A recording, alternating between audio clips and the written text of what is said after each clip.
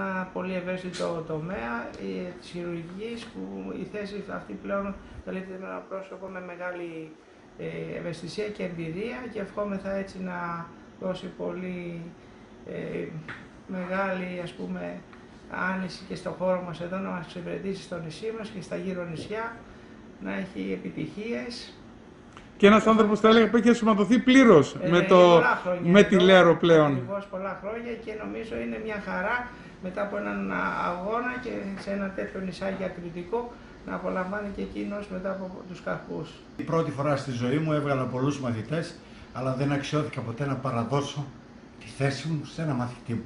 Είμαι συγκινημένος, του εύχομαι, θα του ζαθώ και θα τον βοηθήσω να φτιάξει το έργο που ξεκίνησα. Μαζί το ξεκινήσαμε να έρθει εις πέρας.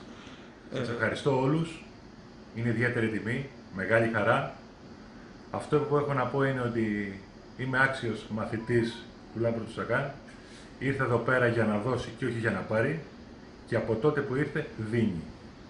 Και παίρνουμε όλοι από αυτό.